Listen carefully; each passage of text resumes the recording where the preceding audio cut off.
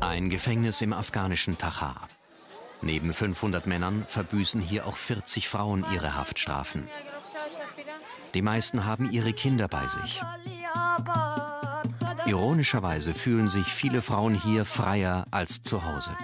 Sie müssen keine Burka tragen und die Launen und die Gewalt ihrer Ehemänner nicht erdulden. Ihre Lebensgeschichten erzählen von Mut, Widerstand und verbotener Liebe.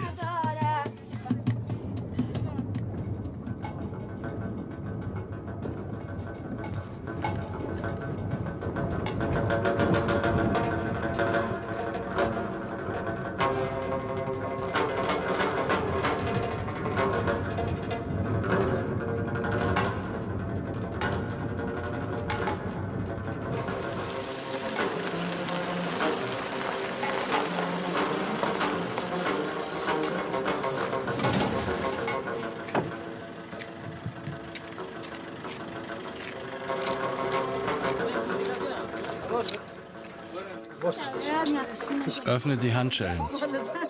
Ich habe keinen Schlüssel. Halte sie fest. Ich hole den Schlüssel. Wo wurdest du verhaftet? In der Stadt. Wo sind die Unterlagen zu deinem Fall? Beim Gericht. Mach nichts Falsches. Schrei nicht herum. Diskutiere nicht mit dem Personal, sonst wird deine Strafe verdoppelt. Verstanden? Verstanden.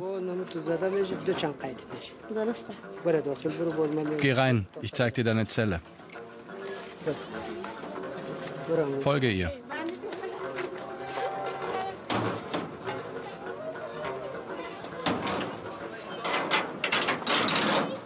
Nargis entfloh ihrem Mann sieben Jahre Gefängnis. Fausiaham entfloh ihrer Familie zehn Jahre Gefängnis. Golshan zwölf Jahre Gefängnis. Latifa und Galamnessa entflohen ihren Familien acht Jahre Gefängnis. Sedieka, Mord, sechs Jahre Gefängnis. Nurinessor entfloh ihrem Mann zehn Jahre Gefängnis. Najiba entfloh ihrem Mann 16 Jahre Gefängnis. Simon entfloh ihrem Mann 16 Jahre Gefängnis. Sora entfloh ihrer Familie. Drei Jahre Gefängnis. Sora. Gib mir mein Trinkgeld. Wer gab dir das? Javid. Ah, dieser Brief ist von Javid, danke. Zum Glück hat dich niemand erwischt.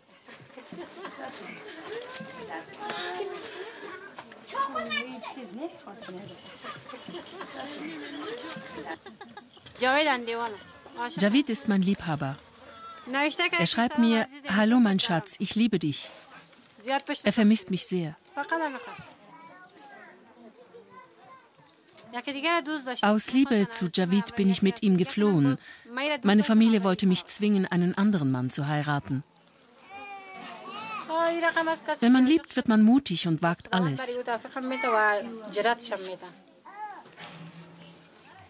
Aber unsere Familien haben uns angezeigt. Die Polizei hat uns geschnappt.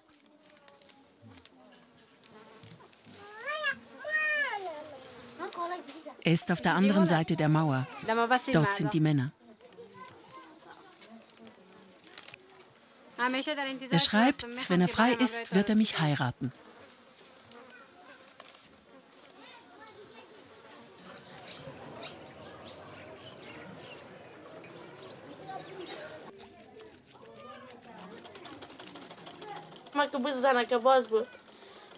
Ich kam von der Arbeit nach Hause und ertappte meinen Mann mit einer anderen Frau. Das ertrug ich nicht und beschwerte mich bei ihm. Er schlug mich, obwohl ich schwanger war. Er schlug mich, bis ich blutete.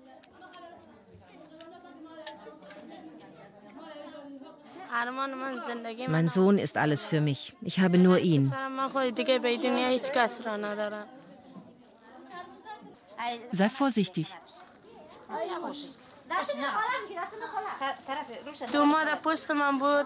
Ich war im zweiten Monat schwanger, als ich davon lief. Mein Sohn kam hier im Gefängnis zur Welt. Jetzt ist er zwei Monate alt.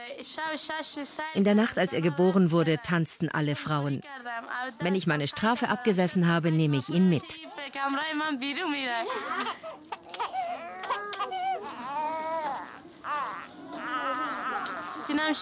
Ich kann nicht stillen. Wenn ich Geld habe, kaufe ich Milch für ihn. Doch oft habe ich zu wenig Geld und kann nicht mal Milchpulver kaufen.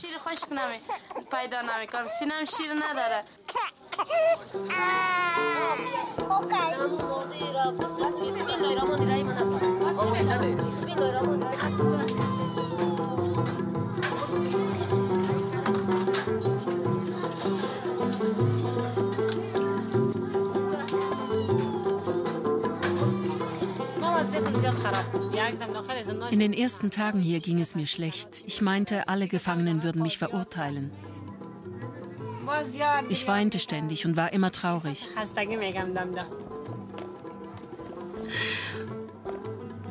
Als ich aber vernahm, dass Javid auf der anderen Seite der Mauer ist, war ich glücklich.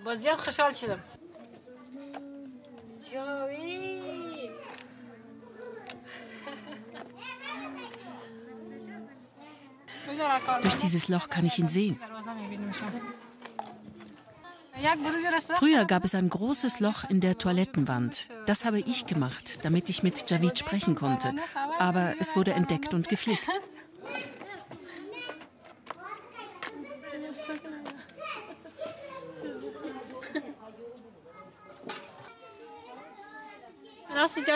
Zum ersten Mal habe ich Javid auf dem Schulweg gesehen. Ich verliebte mich sofort in ihn. Wir begannen einander Briefe zu schreiben.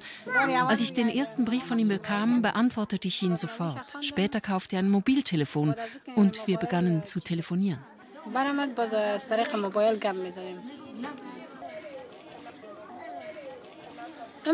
Wir hatten eine schöne Zeit. Doch meine Familie wollte mich mit einem anderen Mann verheiraten. Da rief ich Javid an und erzählte es ihm.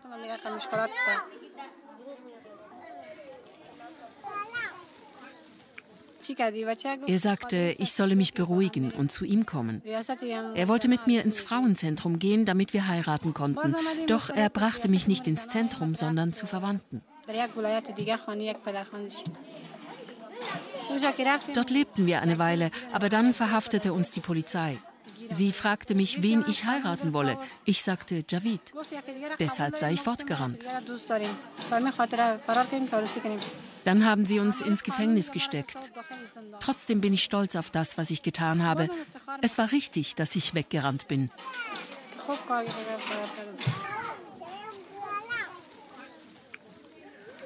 Er ist ein guter und ehrenhafter Mann. Er weiß, was Liebe ist und er liebt mich. Versteck es gut. Wenn sie dich damit erwischen, bestrafen sie dich. Geh zu ihm, grüße ihn von mir und gib ihm diesen Brief. Komm erst zurück, wenn du eine Antwort von ihm bekommen hast. Geh, meine kleine Schwester.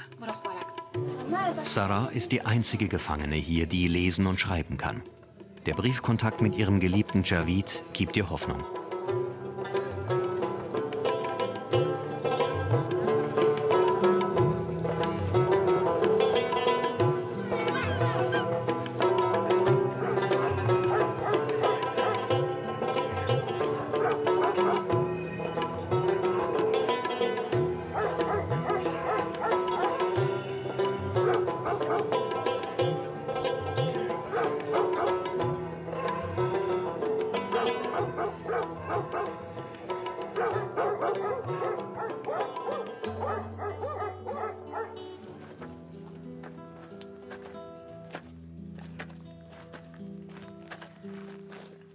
Grüße euch. Wie geht es euch? Rührt euch!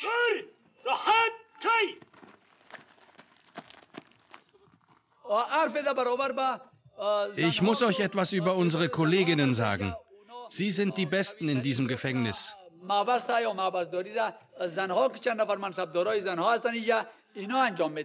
Wie ihr wisst, haben wir hier 500 männliche und 40 weibliche Gefangene. Es ist viel schwieriger, sich um die 40 Frauen als um die 500 Männer zu kümmern. Ich möchte deshalb unseren Kolleginnen danken. Ohne sie würde das ganze System zusammenkrachen.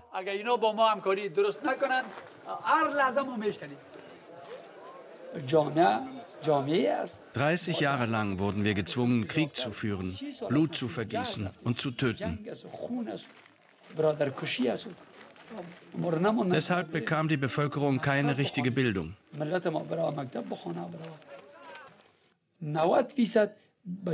90 Prozent der Frauen werden aus Dummheit und Unwissenheit zur Heirat gezwungen. Doch weder die Frauen noch die Männer sind zufrieden. Und wenn Paare unzufrieden sind, haben sie immer mehr Probleme. Schuld an diesen Missständen sind vor allem die erzwungenen Ehen und die Unwissenheit. Wenn Gottes Wille nicht erfüllt wird auf Erden, gibt es Probleme.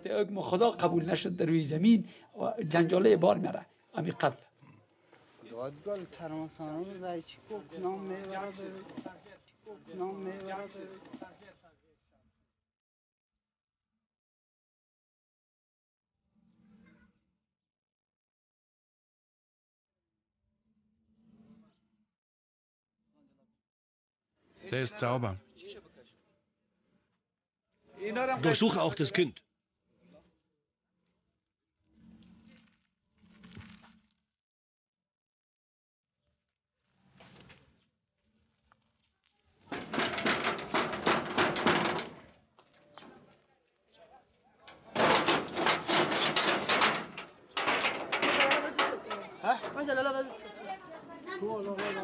Simon, da will dich jemand sehen. Besuch für dich. Dein Mann, nimm deine Burka und komm. Beeil dich, Simon.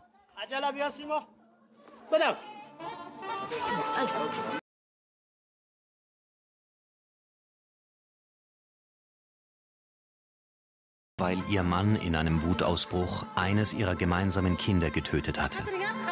Doch ihr Mann fand sie und ließ sie einsperren, da sie mit ihrem Stiefsohn geflüchtet war.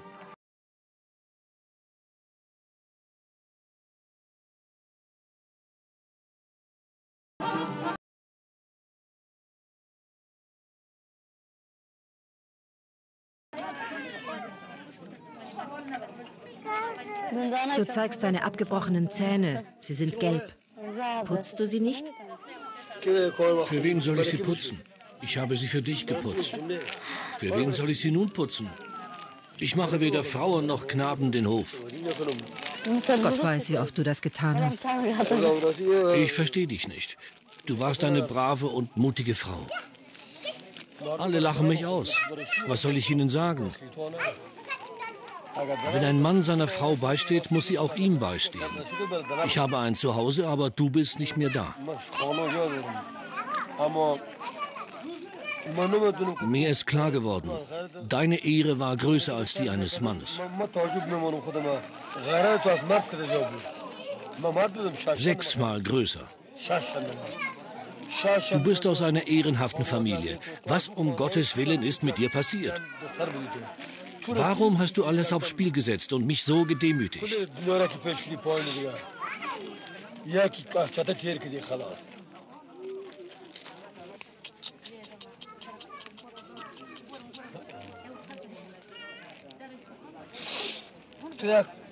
Wenn du so gut bist, hättest du an deine kleine Tochter denken müssen. Und an Risa und ihren Mann.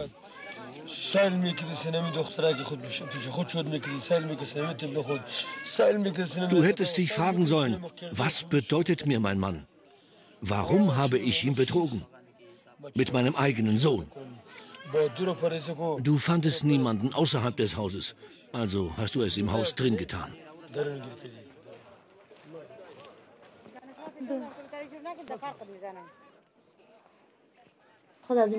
Mein Mann ist nicht normal. Seine Stimmung ändert sich stündlich. Er hat mich oft geschlagen.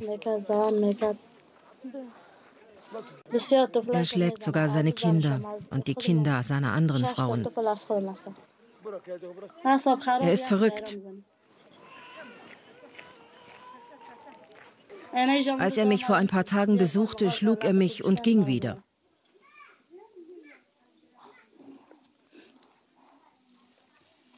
Ich möchte einfach in Ruhe leben können. Aber wohin soll ich gehen mit meinen fünf Kindern? Er wird so wütend, dass er seine Kinder zu Tode prügelt. Eines hat er getötet.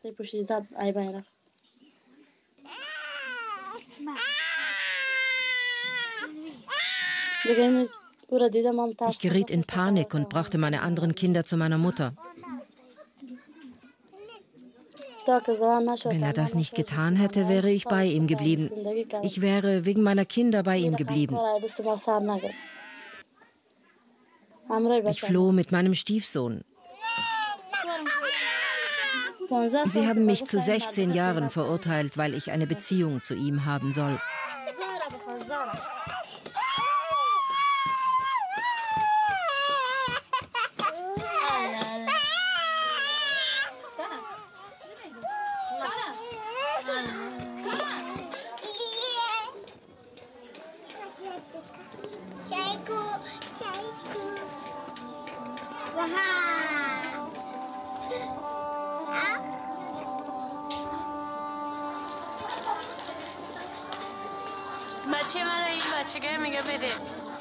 Mein Mann wollte, dass ich ihm meinen Sohn gebe.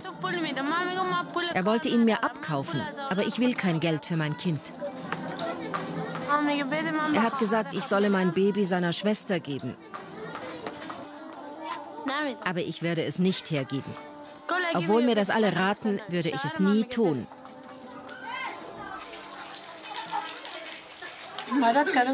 Im Gefängnis ist es viel besser als zu Hause. Jetzt kenne ich die anderen Gefangenen und die Aufseherinnen besser. Sie sind meine Ersatzfamilie geworden.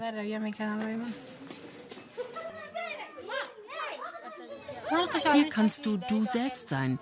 Niemand sagt etwas, wenn du keine Burka trägst. Sie wollen nie wissen, was du tust. Von hier aus siehst du sogar nach draußen.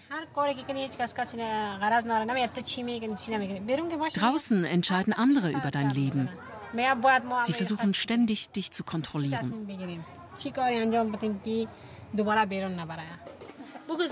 Sag ihm, er soll mich zurückrufen. Mein Mann ruft mich an, wenn er sieht, dass ich ihn gesucht habe. Wie heißt er? Shafik. Zu Hause versteht uns keiner. Es läutet nicht. Nicht? Höre selber.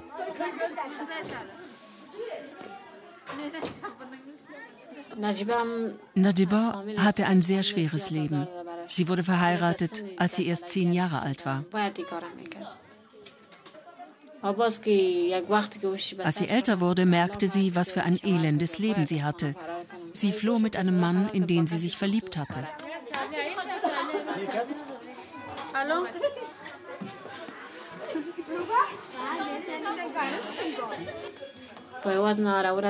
Sie wartet immer auf Besuch und kauft mit ihrem wenigen Geld Milch für ihr Kind.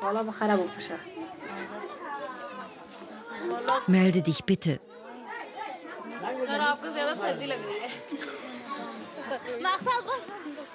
Simon hat ein ähnliches Schicksal. Als sie zehn war, war ihr Vater sehr arm. Er zwang sie, einen alten Mann zu heiraten, der schon zwei ältere Frauen hatte.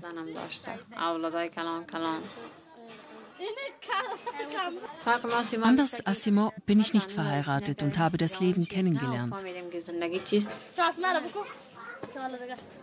Bevor ich zur Heirat gezwungen wurde, habe ich mich retten können.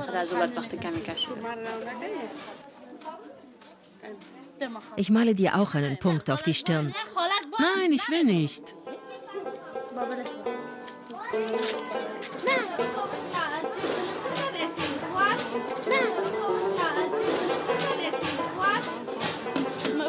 Meine Fingernägel sind noch nicht trocken. Bedeck deine Haare. Warum zeigst du sie? Shut up, würden die Engländer sagen. Soll ich deine Fingernägel anmalen? Lass das.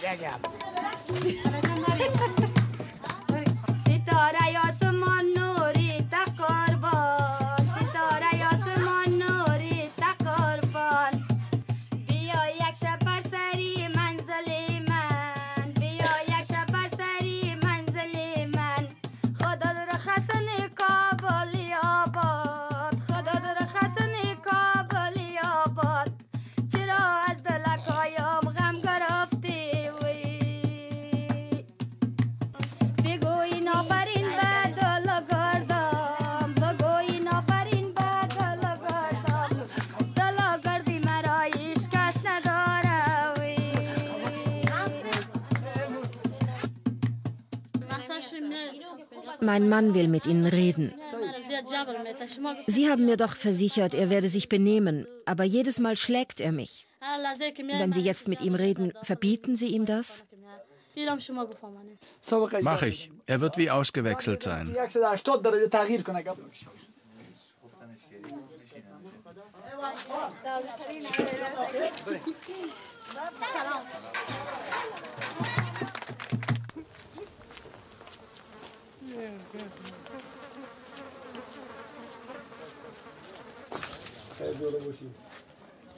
Shamsuldin, Sohn von? Sohn von Gamari. Wen besuchen Sie? Meine Frau Simon. Gehen Sie. Simons Mann will mit dem Gefängnisvorsteher über seine Frau reden. Zu Ihren Diensten, General. Das ist für Sie. Ich war schon mal da, aber Sie waren in Kabul.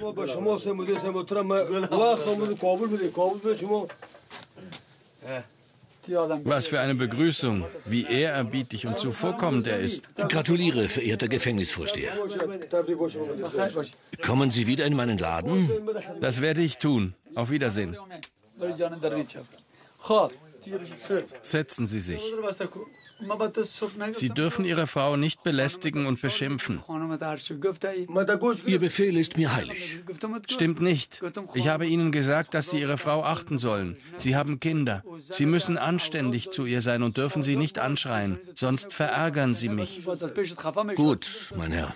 Wenn Sie wollen, dass Gott und ich zufrieden sind, dann beherrschen Sie Ihren Ärger. Sie ist Ihre Frau. Küssen Sie sie und machen Sie sie glücklich. Respektieren Sie sie und nehmen Sie sie nach ihrer Entlassung heim nach Masor. Ich tue alles, was Sie sagen. Mein Sohn war unfolgsam. Deshalb wurde ich wütend und schickte beide ins Gefängnis. Sie hat nichts falsch gemacht. Mein Sohn Shamsullah ist schuld daran. Shamsullah soll kommen.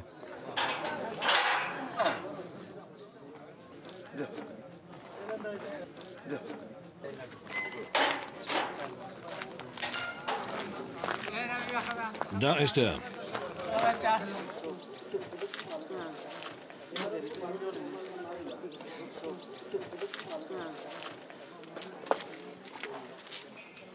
Guten Tag, Vater. Es war ein Fehler, dass ich ohne die Erlaubnis meines Vaters seine Frau aus dem Haus geholt habe.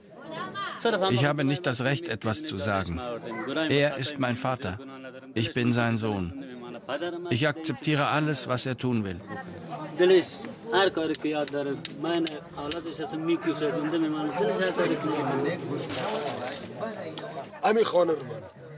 Meine Frau hat ohne meine Einwilligung das Haus verlassen. Ohne meine Erlaubnis darf sie nirgendwo hingehen. Ihre Eltern waren nicht zu Hause. Daher bat sie meinen Sohn, sie zu ihnen zu bringen. Er mietete ein Haus und sie wohnten darin. Ich ging nach Pakistan, Karachi, Peshawar und Kandahar und hängte sein Foto in ganz Kabul auf. Nach drei Wochen fand ich ihn und meine Frau in einem Haus in Talukan. Als ich ins Haus eindrang, waren 30 Leute dort. Wenn sie allein gewesen wären, hätte ich beide umgebracht. Der Teufel ist in meinen Sohn gefahren. Warum hat er meine Frau mitgenommen? Wir waren 22 Jahre zusammen und haben sechs Kinder. Ich wusste nicht, dass ich sie nicht zu ihrem Vater bringen durfte. Ich würde eher Dreck essen, als etwas Falsches tun. Ich bin ein ehrbarer Mann und kämpfte mit General Najib. Ich schwöre, ich lasse ihn nicht am Leben. Auch wenn ich 20 Jahre warten muss. Ich werde ihn in Stücke reißen. Jetzt kriege ich ihn nicht, weil er im Gefängnis ist. Aber sobald er frei ist, kommt er dran. Meine Frau ist kein Straßenmädchen. Sie ist vom Dorf. Jetzt sitzt sie im Gefängnis.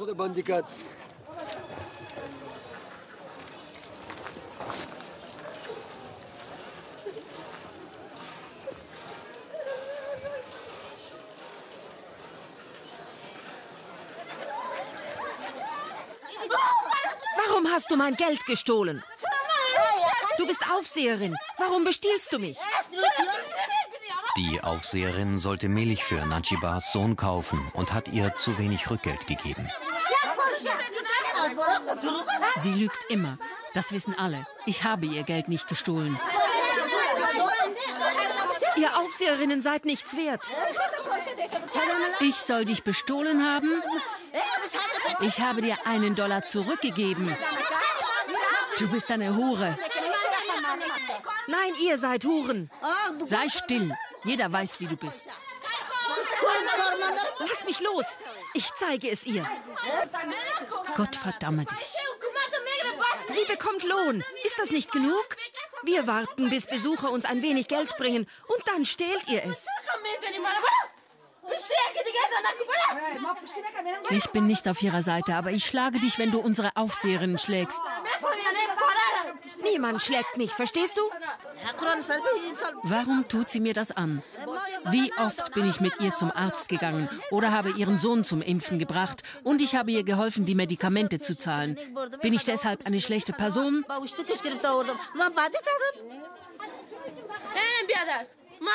Wenn ich kein Geld habe, borge ich es mir bei anderen. Ich borge Geld, damit ich telefonieren kann. Ich habe keine Verwandten außer meinem Mann. Wenn er mir Geld schickt, zahle ich meine Schulden. Ich bin im Gefängnis. Ich kann nicht einkaufen gehen. Aber die Aufseherinnen nehmen unser Geld mit und geben uns kein Rückgeld. Ist das mein Fehler? Sie ist ein Biest. Wo ist meine Burka? Firose, gib mir eine Burka. Mal sehen, ob sie die Nacht überlebt. Ob ich sie nicht umbringe.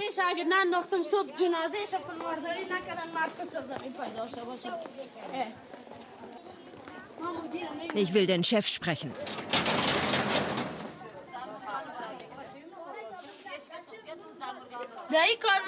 Wenn wir die Aufseherinnen nicht stoppen, werden sie uns weiter bestehlen. Ein Kilo Fleisch kostet zwei Dollar, aber sie wollen drei Dollar von uns. Wenn etwas einen Dollar kostet, müssen wir ihnen drei Dollar geben. Wir sind zwar Gefangene, aber wir haben Rechte. Sag, Schwester, habe ich je Geld geborgt und es nicht mehr zurückgegeben? Hast du mich je lügen gehört oder stehlen sehen? Als ich frei war, hatte ich kein Leben. Mir ist es egal, wenn ich länger hier bleiben muss.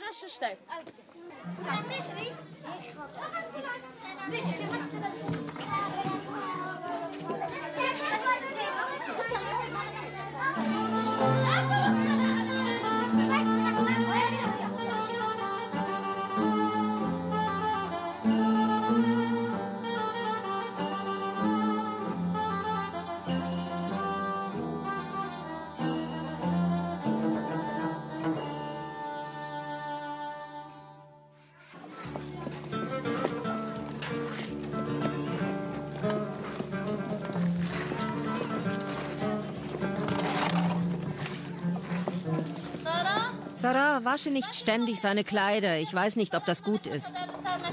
Ich liebe ihn. Was willst du? Nur dein Bestes. Ich will nicht, dass irgendjemand seine Kleider wäscht. All das gehört meinem geliebten Javid. Ich lasse ihm jeweils ausrichten, er soll mir seine Wäsche bringen. Er gibt sie den Aufsehern und diese bringen sie mir.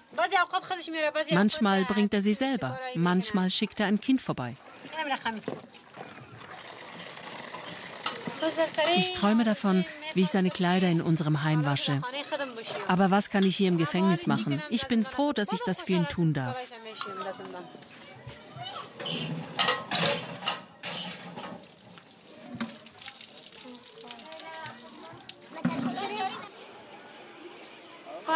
Kannst du Shafiq nochmals anrufen?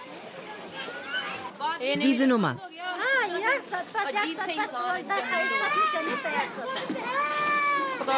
Ich hoffe, er antwortet. Der Richter ist hier. Wo? Warum ist er da? Warum lässt du nicht länger läuten? Später. Najiba, der Richter will mit dir reden. Mit mir? Ja. Najiba, ich habe nicht Zeit für deine ganze Geschichte. Keine Zeit? Ich will nur wissen, warum du streitest. Nimm dir Zeit, wenn du mich verstehen willst. Wenn ich streite, habe ich meine Gründe. Frage mich danach. Mein Problem ist, dass Sie unser Geld stehlen. Ich bin eine Gefangene. Wie kann ich zu Geld kommen? Hörst du? Schildere mir dein Problem. Wir können zum Gefängnisvorsteher gehen. Er war nicht da. Jetzt ist er zurück.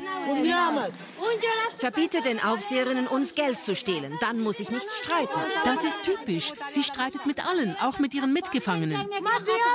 Hör zu. Sei still. Hör mir zu. Bei Gott, wenn du dich nochmals streitest, schicke ich dich ins Gefängnis von Kabul.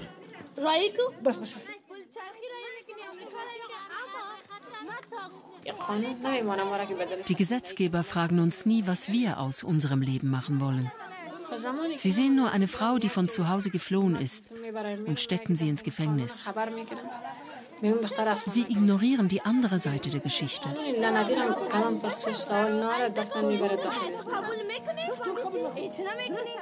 Sie fragen nicht, warum du geflohen bist.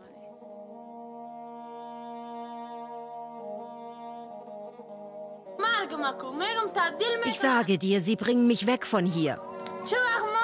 Komm so schnell wie möglich her. Nur du kannst mir helfen. Tu dein Bestes. Komm so schnell wie möglich. Wann kannst du hier sein? Wann? Was heißt bald? Wenn du nicht kommst, kannst du es mir jetzt sagen.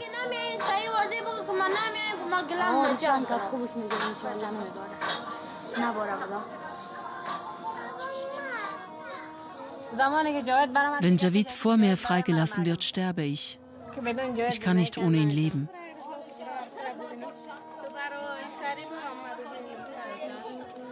Ich habe mir viele Feinde gemacht.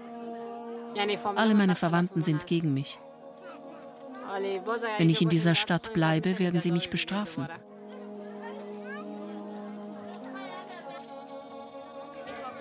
Ich will Javid heiraten und mit ihm nach Kabul ziehen.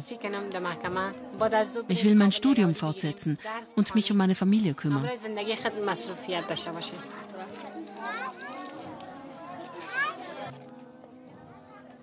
Wenn er mich heiratet, werde ich ein gutes Leben haben. Wenn er das nicht tut, muss ich in meine Familie zurückkehren, die mich so unglücklich gemacht hat. Nach Gesetz muss ich in meine Familie und in mein altes, schreckliches Leben zurück.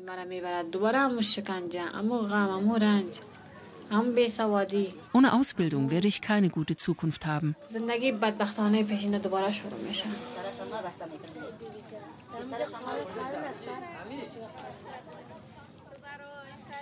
Wenn ich Macht hätte, würde ich allen jungen Frauen und Männern, die einander lieben, helfen, für immer zusammen zu bleiben. Ich würde die Rechte der Frauen verteidigen. Ich habe es satt zu sehen, wie die Männer die Frauen unterdrücken. Ich habe es satt zu sehen, wie sie ständig von ihrer Familie kontrolliert werden. Diese Kontrolle ist ein Missbrauch. Die Frauen sollten das Recht haben, selber zu entscheiden.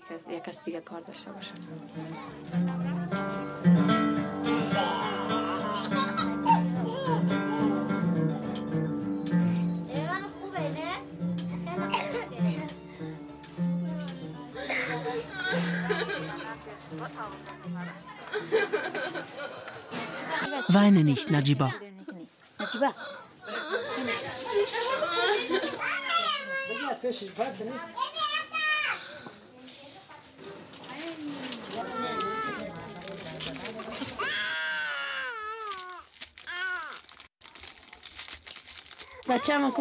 Ich habe meinen Sohn verkauft und Simon meine Wiege gegeben. Sie kann sie brauchen. Ihre Tochter ist auch noch klein.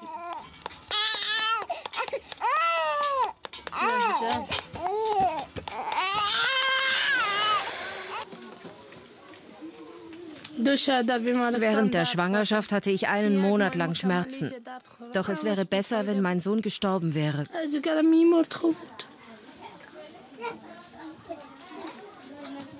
Ich hatte nicht genug Milch.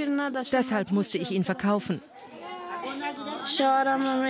Mein Mann hat mich verlassen, ohne sich von mir scheiden zu lassen. Jemanden zu verlieren, weil er stirbt, ist einfacher, als wenn er dich verlässt.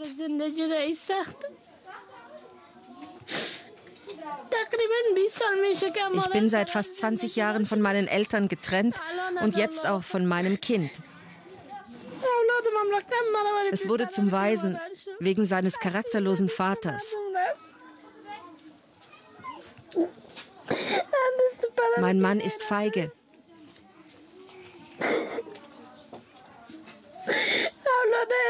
Wenn ich all die Kinder sehe, zerbricht es mir das Herz. Mein Gott, wie soll ich mir nicht wünschen, mein Kind bei mir zu haben?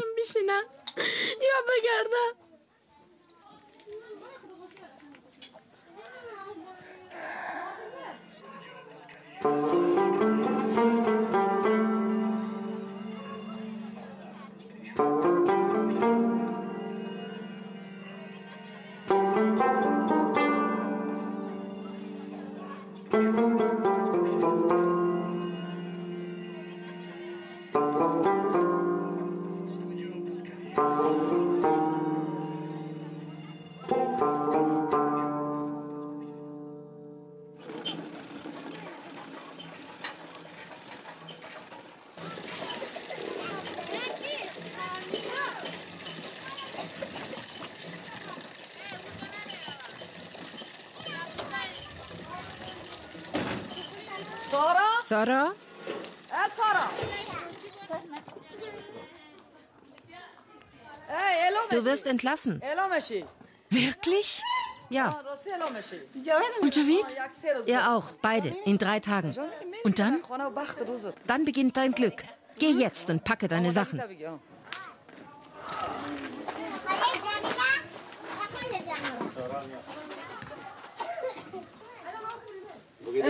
Das ist Sarah. Wie heißt du? Sarah. Tochter von? Von Amir Sangin Mohammed. Weißt du, dass du entlassen wirst? Ja. Vom obersten Gericht haben wir den Freilassungsbefehl erhalten. Die Untersuchungshaft wurde dir angerechnet. Deshalb bist du nun frei. Meine Glückwünsche. Mach etwas aus deinem Leben. Vielen Dank, mein Herr.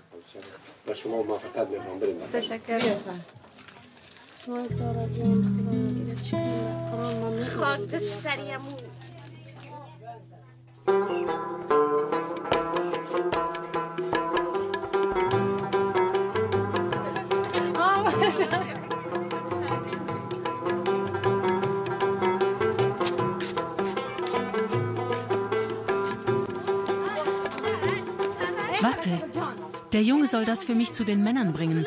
Es geht um mich und Javid. Beeil dich, pack deine Sachen. Das mache ich. Aber ich brauche eine Antwort auf diesen Brief. Gib ihn, Javid. Beeil dich.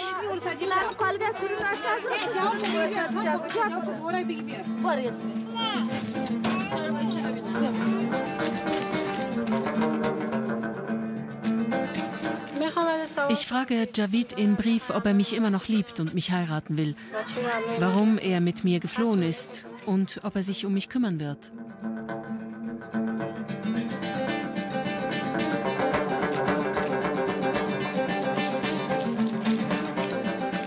Draußen fühle ich mich nicht sicher. Vielleicht werde ich getötet.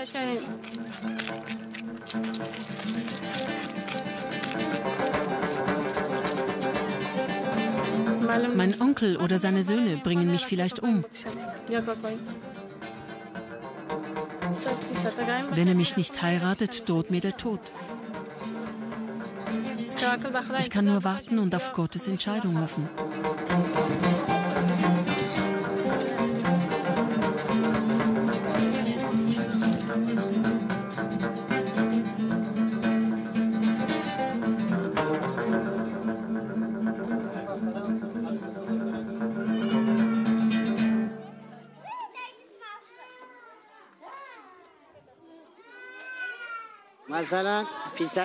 Soros älterer Bruder ist sehr wütend auf sie.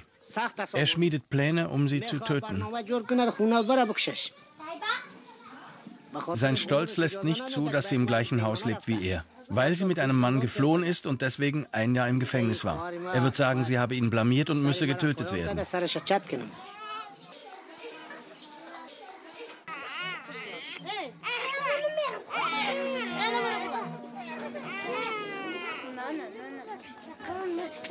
Mutter, ich will nicht zu Vater zurück. Gut, du kannst bei mir wohnen.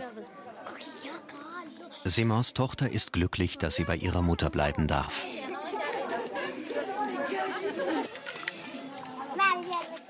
Doch Simon hat Angst vor den Plänen ihres Mannes. Mein Mann will mich in ein Gefängnis in Kabul verlegen lassen. Alle seine Verwandten leben dort. Ich weiß nicht, ob ich einwilligen soll. Ich habe keine Ahnung, was er vorhat.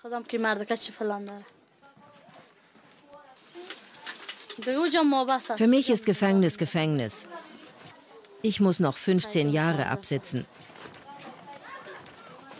Mein Mann sagt, er wolle mich nicht verletzen.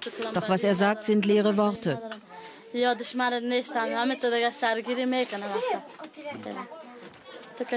werden sehen, ob seine Pläne meinen Tod bedeuten.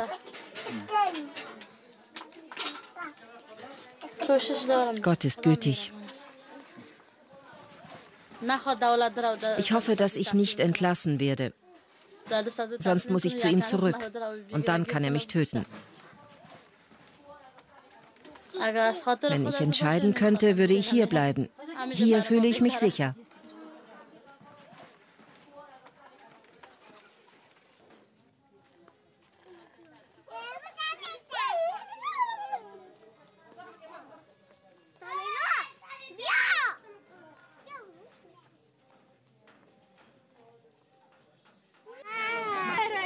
Najiba hadert mit ihrem Schicksal.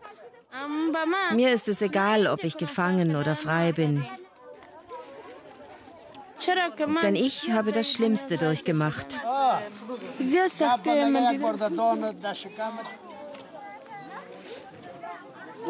Vielleicht verzeiht mir mein Sohn nicht, was ich getan habe, aber Gott versteht mich. Gott kennt meine Probleme.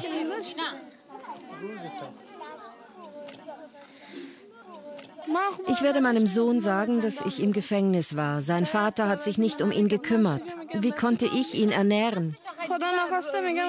Ich werde ihm erklären, dass er gestorben wäre, wenn ich ihn nicht verkauft hätte. Wo immer er jetzt ist, wenigstens lebt er. Hätte ich ihn behalten, wäre er gestorben.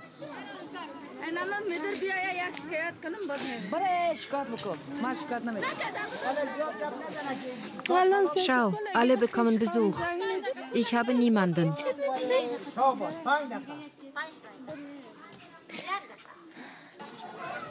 Heute wird Sarah aus dem Gefängnis entlassen. Du musst alles zurückgeben, was du vom Gefängnis hast. Bring deine Taschen her. Das ist meine Identitätskarte. Da war sie 16 Jahre alt. Bring deine andere Tasche. Ich hatte drei oder vier Leintücher. Zwei habe ich Rahilo gegeben und eines ist auf dem Boden. Nimm es doch mit. Ich will es nicht haben. Ist es schön? Ja. Warum willst du es nicht? Ich lasse es hier. Willst du zurückkommen? Bei Gott, nein. Dann lass keine Nadel hier. Lass nichts hier und nimm nichts mit. Und komm nie zurück, um jemanden zu besuchen. Hast du verstanden?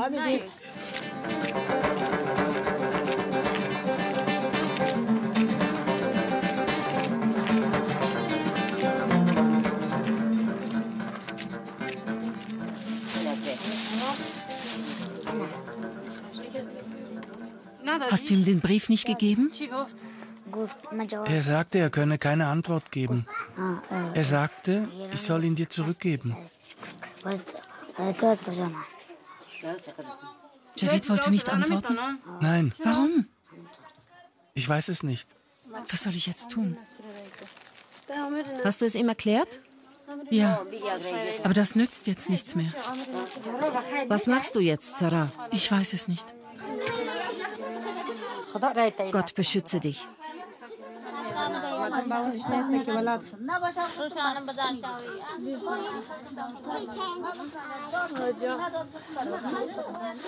Er will mich nicht heiraten. Sie werden mich töten.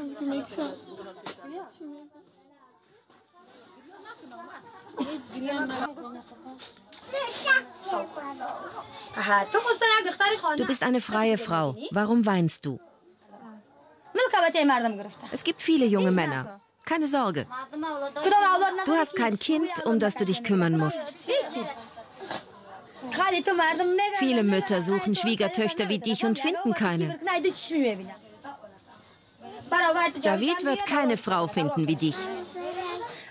Jetzt, wo er dich nicht mehr will, wird er nie mehr glücklich sein. Deine Ehre war die Ehre dieses verdammten Mannes. Du warst von ihm abhängig. Wenn er Schande über dich bringt, wird Gott Schande über ihn bringen. Weine nicht. Geh stolz wie eine Löwin. Najiba, vergib mir bitte. Was soll ich tun ohne dich? Hör auf zu weinen. Gott ist gütig. Auch du wirst bald frei sein.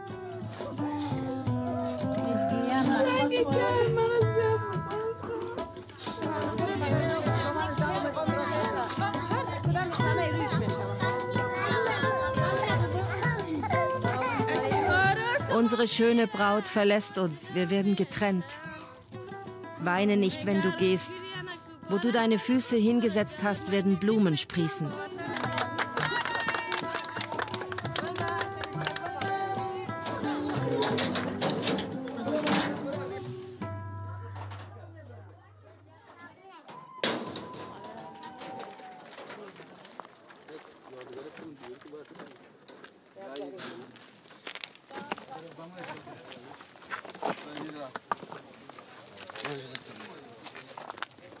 Javid?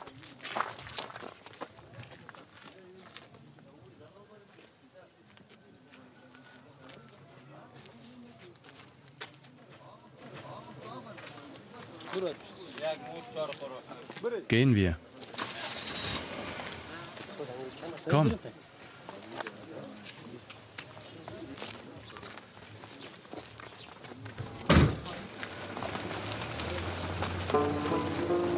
Auf Druck seiner Familie heiratet Javid drei Monate später eine andere Frau. Sarah sieht ihn nie wieder. Sie lebt heute in einer Frauenschutzstelle. Najiba wurde in ein Gefängnis in Kabul verlegt. Sie muss noch acht Jahre verbüßen. Simon ist noch in Tachar. Ihre Haft dauert noch 15 Jahre.